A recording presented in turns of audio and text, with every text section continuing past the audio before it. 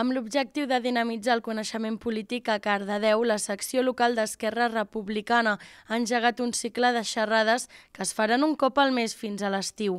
La primera va ser dilluns 7 de novembre a la sala de les columnes de l'Ajuntament de Cardedeu amb la presentació de l'acte a càrrec del membre de l'executiva local d'Esquerra, Eudal Balcells, i moderat per la secretària de Feminisme d'Esquerra Cardedeu, Laura Duenyes. En aquesta primera xerrada la idea era poder parlar d'eines per a un Cardedeu més inclusiu inclusiu, on es va parlar de com l'educació, la vida comunitària i les polítiques d'habitatge poden ser eines claus per a la inclusió. Per fer-ho, la convidada va ser la Najat Dirrueix, diputada al Parlament de Catalunya. Va als, als plens del, del Parlament amb, amb el mocador al cap, no? com a elecció personal com exercint la seva llibertat d'elecció. Això va causar molta polèmica, i és una diputada que està especialitzada en, en temes d'integració social amb la qual cosa eh, tenir una xerrada oberta i franca amb ella sobre aquests temes d'integració social